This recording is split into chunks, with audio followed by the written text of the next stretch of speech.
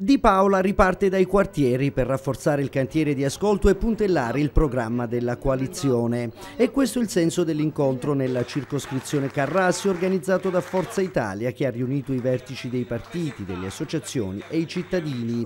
Un confronto serrato sui problemi sul tappeto e sulle proposte per migliorare la qualità della vita in quelle che il candidato si rifiuta di chiamare periferie. Vedo emergere dei problemi di carattere strutturale comuni a tutti.